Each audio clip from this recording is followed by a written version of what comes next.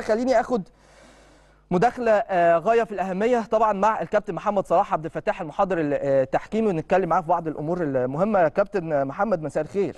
مساء الفل عليك يا امير عامل إيه؟ أخبارك إيه؟ تمام الحمد لله. كله كويس؟ شايفك متعصب. لا ما هو لازم أتعصب بصراحة. يعني أنت بذمتك مش شايف إن في أخطاء كارثية. بتحصل في مختلف المباريات بما فيهم طبعا مباراة المصري اللي فاتت بالنسبة للنادي الأهلي. والحالات اللي أعتقد أنت كنت سامعني قبل ما ما أخدك معايا المداخلة كنت سامعني وأنا بتكلم على حالة محمد شريف على حالة قفشة على الست دقائق بتوع وقت ضايع على الإنذار اللي اتحسب على آه، محمود متولي. أنا عايز آخد تقييمك للمباراة دي بالتحديد. آه المباراة كانت أول امبارح بس رأيك إيه في أداء الحكام؟ طيب واحدة واحدة كده أنا هاخد من كلامك بس عايز اكد على حاجة. أنت اولا آه، محمل المسؤولية كلها لوليد عبد الرازق. آه، مبدئيا كده عشان تكون عارف وليد عبد الرازق ما كانش هو حكم اللقاء. آه ما هو ده, دي جزئيه مهمه جدا كنت هسألك فيها بالمناسبة. يعني أنا سمعت في اقاويل جدا كتير جدا اتقالت إن أصلا ما كانش هو حكم اللقاء وتدخل أحمد أبو العيلة هو اللي خلى إن هو يكون الحكم. دي آه يعني هنبدأ في, في تفاصيل ال آه. يعني كواليس التعيين. اتفضل. كابتن توفيق السيد آه، حط طاقم وده بدوره إن هو مسؤول عن التعيينات آه، طبعا الطاقم اللي هو حطوه اتشال واتعين طاقم تاني. هنا انت بدأت المشكلة بدأت من من قبل من بره الملعب. بدأت من داخل لجنة الحكام. مم. عندك في ناس في تنازعات على مين اللي يحط التعيين ومين اللي يعمل ما احناش عارفين مين بيعمل تعيينة ومين ما بيعملش تعيينة. وهنا بداية المشكلة. هروح بعد كده بقى للملعب. آه، أي خطأ انت أنت قلت أمير على الهوا إن هو ما راحش يشوف الفار. على فكرة حكم الفار عبد العزيز السيد بيتحمل مسؤولية الاستدعاء. يعني أنا أنا كحكم في الملعب ما ينفعش أنا اللي أروح أشوف بنفسي أكيد. لازم حكم الفيديو بيراجع الحالة مم. وبعد كده بيستدعيني. طبعا. تمام؟ تمام. هو هنا عبد العزيز السيد عنده مسؤولية مشتركة. لو أنا آه، ضاع مني الحدث اللي في الملعب كحكم ملعب امم هنا بيجي بتيجي مسؤولية حكم الفار. فهنا في مسؤولية ال- من عدم الاستدعاء لأي مراجعة أي حالة. في كلام طالع إن عبد العزيز سيد ما نداهوش عشان يرجع أو آه، عفوا نداه ووليد عبد الرازق ما راحش. هل ده ممكن يكون حصل؟ إن أنا باكد لك إن الكلام ده غير صحيح. تمام أوكي. تماما. ماشي. غير صحيح تماما ماشي وعلى يبقى مسؤولية. أكيد طبعا في مسؤولية على عبد العزيز سيد ده أمر مفروغ منه. تمام. آه إحنا عشان بنتكلم طبقا يعني كل واحد ومهمته صح، إيه صح، عشان صح، برضه صح. آه بنوزع الم-. ما يبقاش وليد لوحده.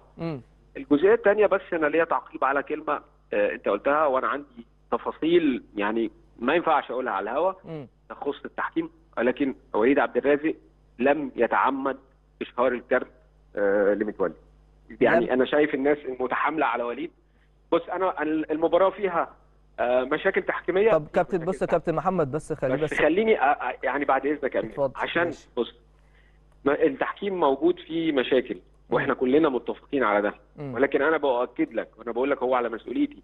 تفاصيل الكارت ده وكواليسه صدقني آه وليد عبد الرازق مفيش تعمد مش موجود عشان آه هو عنده مباراة للزمالك الجاية فهو بيخليه يبعد. الكلام ده أنا بقول لك مش صحيح. تمام. بص بقى خليني بس أسألك بس حاجة كابتن واديني تفسير للي هقوله لك ده. أنت دلوقتي واحد كحمدي فتحي جاي بيعترض عليك ومتولي جاي من بعيد جدا لسه هيبتدي يعترض أنت على طول في ثانية الإنذار راح لمتولي. تقدر تفسر المشهد ده بإيه؟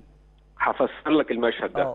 لي. لما تتابع وليد عبد الرازق تتابعه كويس من كل مبارياته مم. على فكرة هي دي شخصية وليد. وليد ما غيرش رتم أدائه آه عشان يمكن هو عشان كان بعيد عن مباريات الأهلي والزمالك آه فالناس ما بتاخدش بالها من أدائه كويس. مم. لكن دي شخصية وليد على فكرة. دي شخصيته التحكيمية. وعايز أقول لك على حاجة حاجة مهمة جدا. لما هنيجي نتكلم تحكيم هو في اعتراض في انذار. ده طبقا للقانون. ما هو هنا بقى السؤال ليش معنى الإنذار طلع لمتولي وما طلعش مثلا لحمدي؟ هو هو بقى ده تقديره هو شايف إن إنذار متولي هو اعترض عليه بشكل غير لائق. هو هو لحق اللي كان في يعترض الملعب. هو اللي شايف الحدث. دي التفصيلة. دي مش عندي للأمانة. تمام بس ما هي دي اللي أنا بتكلم فيها يا كابتن بقى. يعني هي دي اللي بتكلم فيها. هو لحق يعترض. يعني هو لو لحق يعترض ماشي. على فكرة أنا بلوم على متولي. أنا بقول لك وأنا بلوم على متولي إن هو عارف إن هو عنده إنذار ورايح يعترض. أنا بلوم عليه. لكن في نفس الوقت المشهد غير منطقي بالنسبة لي. لعيب عنده إنذار. بس أنا عايز بس عشان السادة المشاهدين ما تفتكرش إن. إحنا. إن الحكام آه، رايح أنا عندك إنذار فمش هلعبك الماتش الجاي. الكلام ده لا يخص الحكم في شيء. أنا بقول لك وعندي كواليس ال- اللي حصل بعد الجزئية دي واقول لك مش هينفع أنا لم هو أجزم يعني. يا كابتن بإن هو ده اللي في نيته وأنا قبل حتى ما أتكلم في الحتة دي قلت أنا عمري ما هدخل في نوايا حد بس أنا بقرأ المشهد بقرأ المشهد مش أكتر بس عايز؟ أقول لك على حاجة. عارف مين اللي ضر وليد عبد الرازق مين كل حكم كان آه، بيسمح بالاعتراض ويتغاضى عنه مم. تمام الناس اعتقدت إن ده المشهد الطبيعي فلما وليد عبد الرازق ودي شخصيته على فكرة اللي دايما ولما وليد يتصرف بهذا الشكل أنا خلي بالك بتكلم تحكيم ماليش علاقة بالنتيجة. ماليش علاقة بنتيجة المباراة طبعا. واخد بالك. آه فوليد لما تتابعه وتتابع أداؤه طول حياته حتى على فكرة مش النهارده ولا امبارح.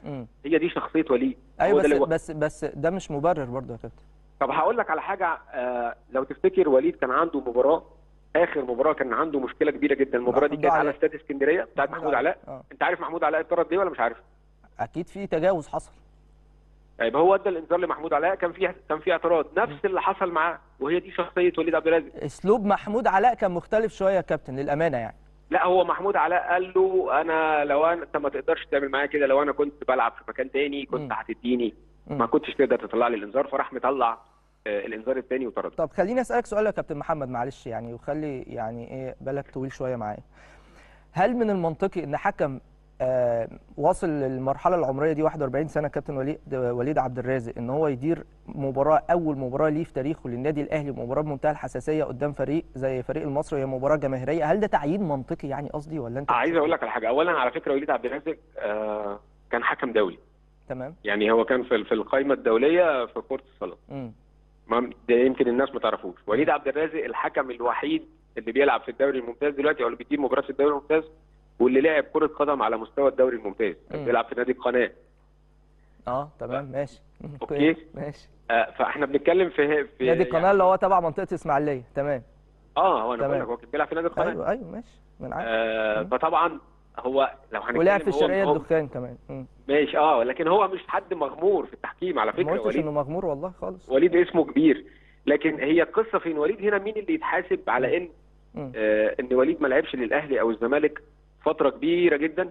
هي لجان الحكام هي. اللي اقتصرت وخلي بالك ده من الأسباب فشل يعني الفشل التحكيم اللي إحنا فيه دلوقتي تمام إن النهارده انت اقتصرت جزء ناس مم. معينة هي اللي تدير مباريات اللي طرفها أهلي وده اللي أدى اللي إحنا الوضعية اللي إحنا فيها دلوقتي وده اللي أدى الوضعية الاهلي ليه بقى أنت النهارده مثلا مم. عدم المباريات دي ليها خبرة وليها آه أكيد أكيد ليها مواقفها أنت النهارده حطيته في النار مم.